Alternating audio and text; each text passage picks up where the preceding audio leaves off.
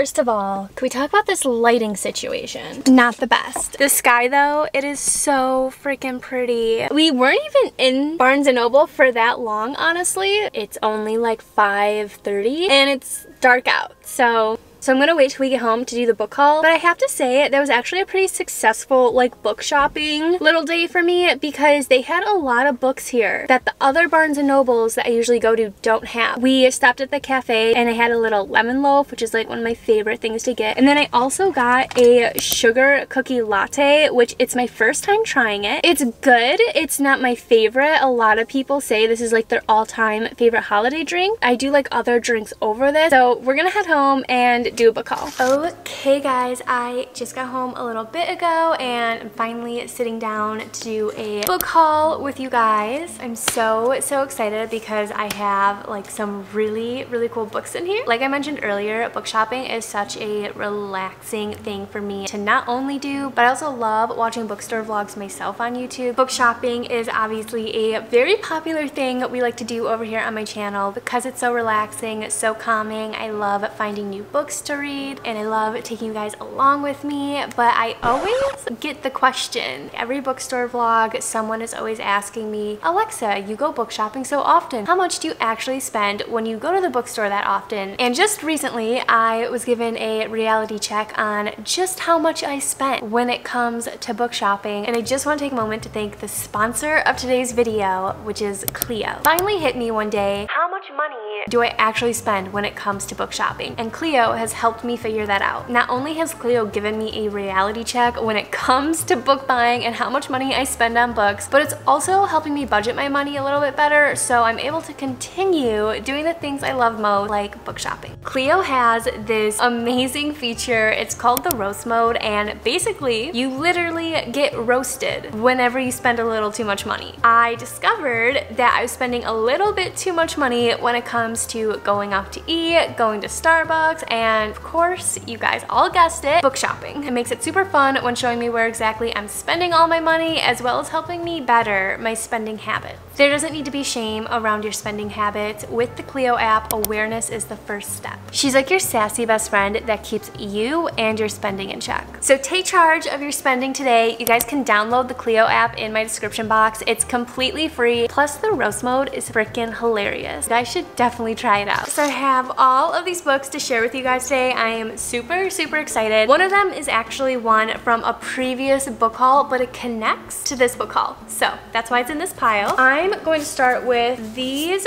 three books because they don't connect or really go with the other books. The first book I picked up is Until Friday Night. It's by Abbi Glines. Abbi Glines? I'm not sure. Something like that. This is what it looks like. It's a football romance. And if you guys watched my previous book haul, I believe, I actually picked up The Wall of Winnipeg and Me. That is another football romance and it's the only one that I've actually like ever seen anything about. For some reason, your girl is super into sport romances. One of my favorite series is the Off-Campus series. It's like a hockey romance series. I heard The Wall of Winnipeg is super amazing and it's a football romance. So I saw this today and I was like, oh my gosh, it's another football romance. I want to try it out. I don't think I've ever seen like anything about it. I don't know if anyone's ever talked about it on my channel before, but I'm super excited. To everyone who knows him, West has always been that guy. The cocky, popular, too handsome for his own good football god who led Lawton High to the state championship. But while West is a big man on campus on the outside, he's grief-stricken on the inside. For the past year, he has watched his father slowly die of cancer, and he hasn't told anyone because he can't face the truth. Two years ago, Maggie witnessed her father murder her mother. Afterward, she told the police what happened and then never spoke again. Even after moving to Lawton, Alabama to live with her uncle, Maggie kept her sorrow and her fractured heart hidden away. Now as his pain grows unbearable, Wes finally decides he needs to talk to someone about his dad. So in the dark shadows of the post-game party, he tells the one girl who doesn't speak all the things he can't tell anyone else. What Wes expected was relief, a flood of emotions, but what he didn't expect was for Maggie to reply, for her to reveal a pain even deeper than his own, for them to form a connection so strong that he couldn't ever let her go. I'm actually so excited for this because it sounds like a very roller coaster type of story. Honestly kind of gives me like Colleen Hoover vibes. I don't know why. It's just like that storyline gives me Coho vibes. So I'm really excited to try this out. If any of you have read this book, comment down below and let me know what you think about it because like I said, I've never actually seen anything about this book. Next up, I am so excited about this one. It's called Love in the Times of Serial Killers by Alicia Thompson. This cover is probably one of my favorite book covers ever. I just love everything about it. I love the old time comic newspaper look. I love that it's this girl reading a mystery thriller book. It says right in the cover, can true love survive her true crime obsession? So she must have an obsession with serial killers, true crime, stuff like that. I just saw the cover and immediately was like, I need to try this out. I don't know, I just have a really good feeling about this. PhD candidate Phoebe Walsh has always been obsessed with true crime. She's even analyzing the genre in her dissertation. If she can manage to finish writing it, it's hard to find the time while she spends the summer in Florida cleaning out her childhood home, dealing with her obnoxiously good-natured younger brother, and grappling with the complicated feelings of mourning a father she hadn't had a relationship with for years. Doesn't help that she's low-key convinced that her new neighbor, Sam Dennings, is a serial killer. He may dress business casual by day, but at night he's clearly up to something. It's not long before Phoebe realizes that Sam might be something much scarier. Genuinely nice guy who can pierce her armor to reach her vulnerable heart. One woman is going to have to learn how to give love a chance when she's used to suspecting the worst in this fresh romantic comedy. I already know. I'm gonna love this book so much. It just seems like the perfect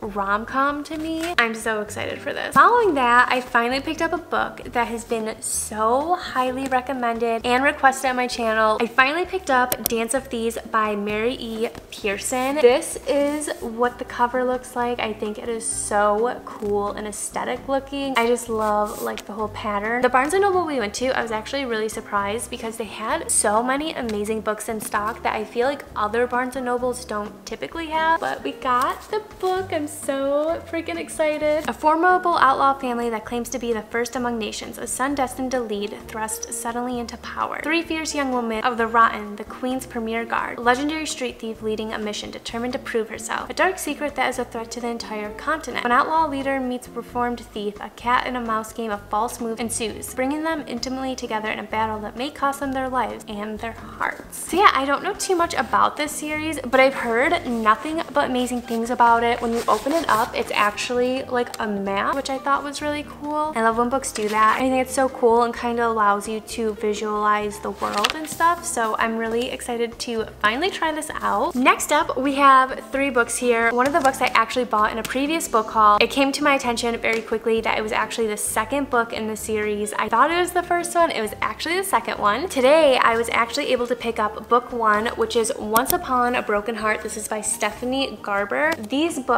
they are so beautiful. Book two is The Ballad of Never After. This is a book I picked up, I want to say about a month ago. This is what the books like together. They are absolutely stunning. They are both Barnes & Noble exclusive editions, I believe. I love the pink and purple. These are literally like my favorite freaking colors. So I'm just absolutely obsessed. They're both hardcover books. And then book two, which I totally shared in a previous book haul. It's actually signed by Stephanie herself, which I thought was really cool. I was nervous that I was never going to find it and I found it today. So a lot of people say that it is so, so good and it's just something that I'm going to love and I totally trust you guys because I've never read a book that you guys have recommended me and not liked it. So I'm really, really excited for this. This is what the spines look like together. They are just so gorgeous. I'm obsessed with these. Moving on from this, we have Caraval, which is also by Stephanie Garber. This apparently is connected to that series. I believe one of you told me that if I read the Caraval series first, that series would make way more sense to me. So I picked up book one. If you guys have read any of these books, definitely let me know down below. Let me know if they're connected to each other, if I should read this series first before jumping into this one. It's another book that's been highly requested on my channel. People rave about it. They say such good things about it. I think the first time around when I saw the book, I think I knew it was a little out of my comfort zone, so I didn't get it right away. But I feel like I'm finally ready to branch out and see what this is all about. I love the detail of these pages. So let me know what you think about it and if you think it's worth all the hype. The final book I am going to share with you guys is not a book I actually bought today. It's actually a book I got sent to me and I am super, super excited because it hasn't even been released yet. But it's by one of my favorite, favorite authors, Holly Jackson. She's the author of A Good Girl's Guide to Murder series series, which I absolutely freaking love. It was like the first murder mystery type of book I've ever read and it was so, so good. I thought it was like the perfect transitioning book like into that genre. And it is like a YA book, so it's not like intense or anything. The last book I have to share with you guys is Five Survive. It is Holly Jackson's newest book. It is coming out November 29th. I got sent a copy of it early. I am so, so excited to read it and give it a try. I have no doubt that this is going to be just as good. Eight hours, six friends, five survive. Red Kenny is on a road trip for spring break with five friends. Her best friend and her older brother, his perfect girlfriend, a friend from school, and the guy Red wishes was more than a friend. But they won't make it to their destination. When their RV breaks down in the middle of nowhere with no cell service, they soon realize this is no accident. They have been trapped by someone out there in the dark, someone who clearly wants them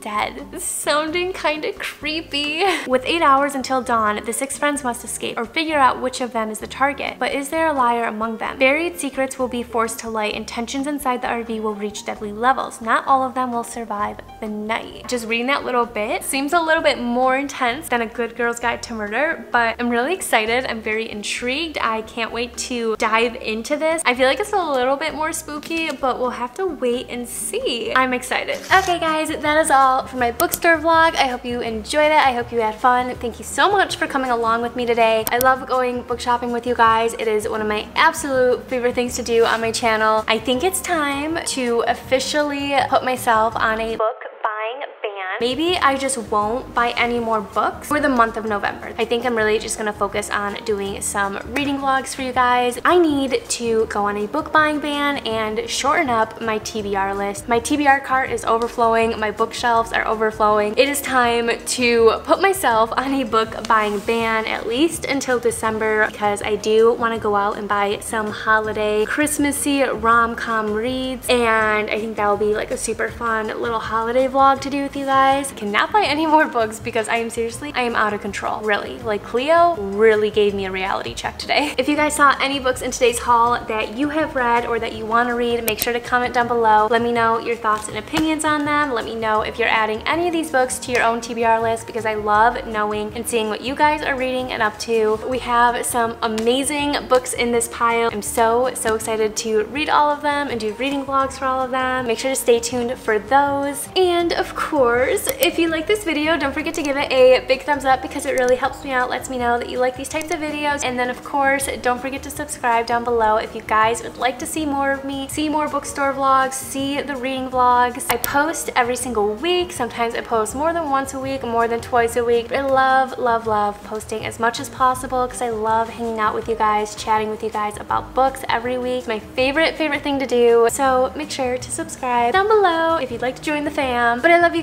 so, so much. I hope you have a wonderful rest of your day and I'll see you in my next video.